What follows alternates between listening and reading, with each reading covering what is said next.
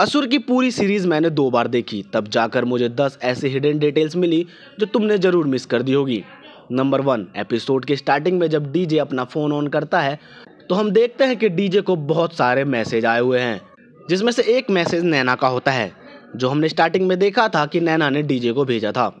Number दो निखिल जब dead body से घड़ी निकालता है, तब उसमें नौ बज के पाँच मिनट हो रहे होते हैं। उस टाइम पर असुर ने तीन लोगों को मार दिया रहता है।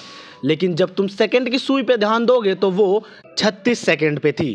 तुम जब लोगों को मारने के बाद का टाइम चेक करोगे तो पता चलेगा हार्ट अटैक के 36 सेकंड बाद उन तीन लोगों की मौत होती है। नंबर तीन, जैसा कि हमें असुर सीज़न वन से ही दिखाया जा रहा था कि शुभ कुछ भी करने से पहले हिंट देता है, उसका एक और एग्ज़ाम्पल सीज़न टू में भी देखने को क्लियरली मिला। जब शुभ अपने साथियों के साथ घर जाता है तो अर्जुन की कहानी सुनाता है कि कैसे अर्जुन के अस्त्रों के काम खत्म होने के बाद वो किसी के काम के नहीं रहते। वैसे ही शुभ अपने साथी जगदीश को मार देता है, क्योंकि उसकी कोई ज़रूरत नहीं थी। नंबर चार, इस वाले सीन में जब धनंजय टॉर्चर करने के लिए स्वाति को इंसुलिन दे रहा होता है, तब हम क्लियरली उसके हाथों पे बैंडेज देख सकते हैं। जो कि डीजे ने यहाँ पंच किया था, तब उसे चोट आई थी। नंबर पाँच ये वाला थोड़ा फनी है। डीजे और नैना जब डार्क में यूज़र के कमेंट पढ़ रहे होते हैं, तब वहाँ एक यूज़र होता है, जिसका नाम सैलमोन भाई होता है। नंबर छः ये वाला डिटेल सीज़न थ्री को क्लियरली टीज कर रहा है। जब डीजे फ़र्स्ट टाइम वरिंदा से मिलने जाता है तो वो मदर और बेबी की स्कल्पचर बना रही होती है, जो हमें ये हिंट भी दे रहा है कि वृंदा प्रेग्नेंट हो सकती है और वो बच्चा शुभ का होगा।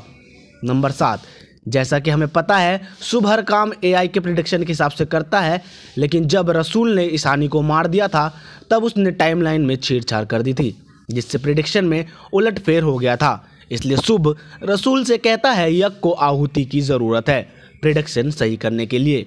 नंबर आठ, इस सीन में हम देखते हैं, ये लड़की नुसरत के लिए पानी लाती है और उसका एक हाथ खोल देती है, लेकिन जब थोड़ी देर बाद नुसरत रिमोट पकड़ती है तो उसका दोनों हाथ खुले रहते हैं। अब हमें कमेंट करके बताइए, ये डिटेल है या कोई मिस्टेक? नंबर नौ, तुम्हें लगा होगा डीजे और सीबीआई टीम जीत गई, पर असल में शुभ ही जीता था, क्योंकि निखिल ने अपनी पूरी लाइफ में कोई गलत काम नहीं किया था, बट एंड में शुभ को मार दिया और ये प्रूव कर दिया कि शुभ अपने मकसद में कामयाब रहा।